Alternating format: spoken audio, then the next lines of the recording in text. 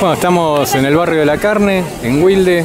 Eh, frente a nosotros se encuentra Cacho Álvarez, que se hizo presente. Estuvimos leyendo en el Facebook ayer algunos vecinos le decían o le preguntaban si iba a estar porque tenían ganas de poder dialogar con él. Él les contestó a varios de los vecinos que iba a estar, que en otro evento no había podido estar por una cuestión de fuerza mayor, pero que ahora está y bueno, lo vemos acá y queríamos aprovechar para que nos cuentes un poco eh, qué es lo que acá los vecinos encuentran, si se va a repetir y vimos un formulario que desde ya es muy interesante la encuesta que hacen sobre los vecinos y bueno, ahora es tu palabra. Sí, claro, es un gusto que nos acompañes hoy, que, que veas el servicio que le prestamos a la comunidad.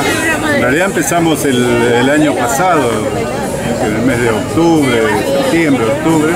Esta debe ser la, la jornada número 16, 17, de las cuales, bueno, yo estuve en, en Tenía ganas de, hablar, de recordar otros tiempos.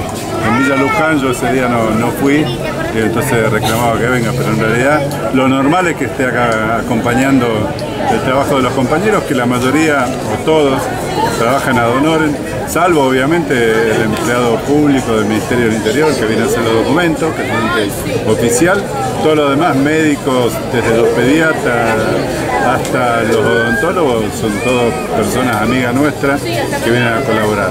Y lo que hacemos es, en primer lugar, hacemos documentos para la gente que necesita.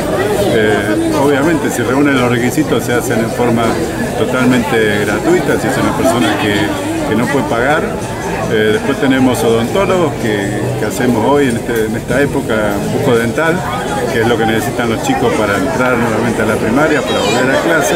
Después tenemos eh, pediatría, que es un tema muy, muy solicitado, muy pedido por los vecinos para ver a los chicos. Sí, porque están diciendo que en Avellaneda faltan pediatras en las unidades sanitarias, o sea que esto por ahí permite que tengan una orientación por lo menos, ¿no? Y faltan muchos servicios en las unidades sanitarias, básicamente porque, bueno, el municipio no se está ocupando de, la salud y eso se nota cada vez que venimos a los barrios y, viene tanta gente a los operativos. La Avellaneda tiene 28, 29 unidades sanitarias eh, municipales. Y si vamos a un barrio y viene gente para pediatría y viene clínico y odontología, quiere decir que claramente el municipio no se está haciendo cargo de la atención primaria, que es la obligación de los municipios Pero bueno, bien, con, con onda, con ganas, con voluntad y con la expectativa de seguir.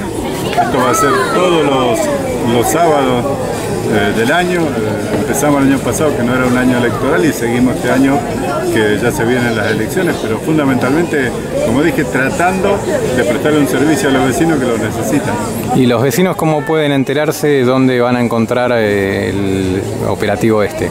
Bueno, en primer lugar, como toda la comunicación moderna, está en nuestra página, la, la, en Facebook, ahí nos pueden encontrar y ahí está toda la información de lo que hicimos hoy y lo que vamos a hacer la semana que viene, básicamente.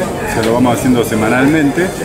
Eh, además, eh, en cada barrio que vamos, hacemos una volanteada previa, vamos casa por casa, invitamos a los vecinos, por lo menos de 10 cuadras a la redonda. Lo que no podemos hacer es, es eh, convocar a mucha más gente, porque tenemos un cupo limitado de DNI, hacemos entre 80 y 120, de acuerdo a la velocidad de, de, de línea que tengamos. Cuando tenemos un internet ágil, hacemos más, y cuando tenemos internet, internet lenta, hacemos menos.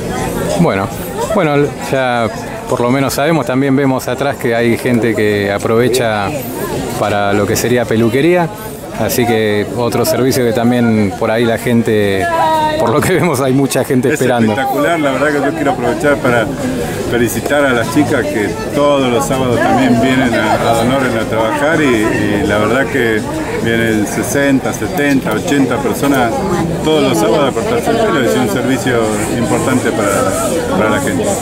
Bueno, gracias y bueno, que sea somos compañeras de hace años. que sea bueno para los vecinos. Gracias. Gracias.